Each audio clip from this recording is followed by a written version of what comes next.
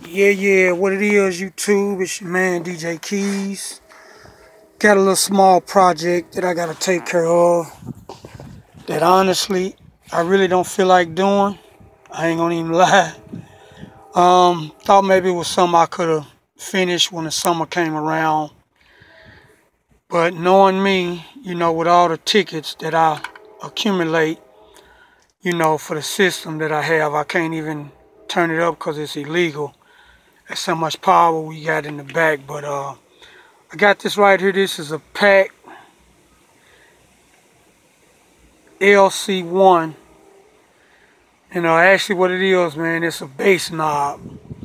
And instead of having to go through the radio, because normally what I would do, I would have to go through my radio, find the subwoofer out volume and level, turn it down, come out of it, then readjust like if I'm outside of the vehicle washing it getting it cleaned up you know I just only want to hear you know the five and a half tweets whatever whatever. You know under the bottom of the vehicle I have the JBL street sound plate system that was designed by yours truly DJ Keys. So with this knob right here man I mean when I'm riding I can turn the bass down quick if I see the people coming. 5 wherever they might be sitting at.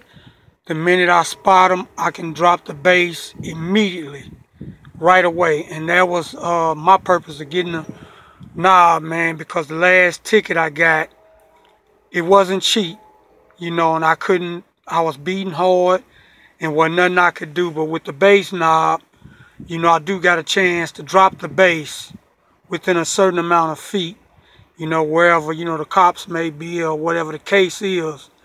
So I'm gonna just go ahead and get ready to tear the dash out, man, and um, try to get it done.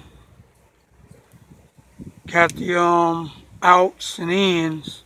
So once I get it installed, man, I'll take another video and show you how it look, show you how it operates, so on and so on. So, I, DJ Keys, I'm out. Part one, man. Bass knob. Let's go.